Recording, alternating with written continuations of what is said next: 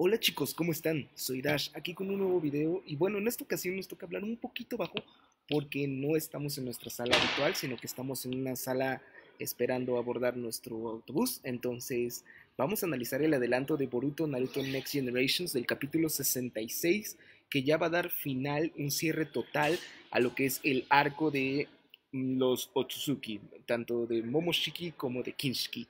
Así que vamos al adelanto. Muy bien, Empezó en un punto donde no debería, pero las imágenes son prácticamente aledañas al manga.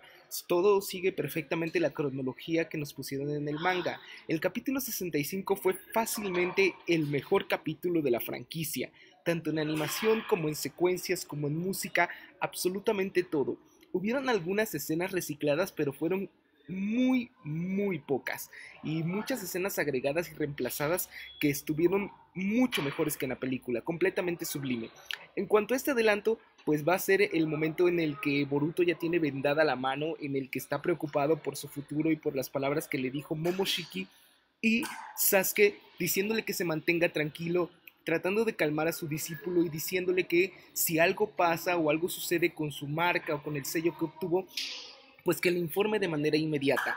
Básicamente así va a continuar este capítulo número 66 y ya vamos a entrar en lo que va a ser pues el próximo arco escrito por Kishimoto en persona, que está centrado en Chouchou.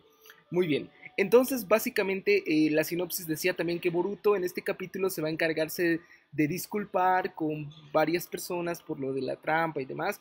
Eh, entonces será un capítulo tranquilo, lento, pero un capítulo bueno que ya va a dar un cierre total y va a abrir el siguiente arco que viene. Chicos, eso es básicamente todo lo que va a suceder en este adelanto. El capítulo 66 es lo que nos dejan ver. Aparentemente Sasuke va a estar ya más tiempo en la aldea. Yo creo que se va a quedar...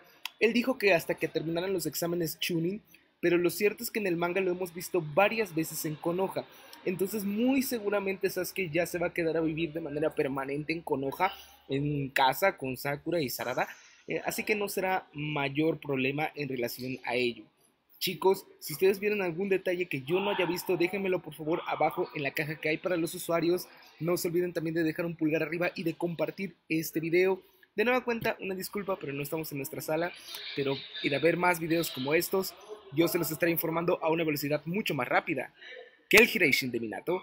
Hasta la próxima.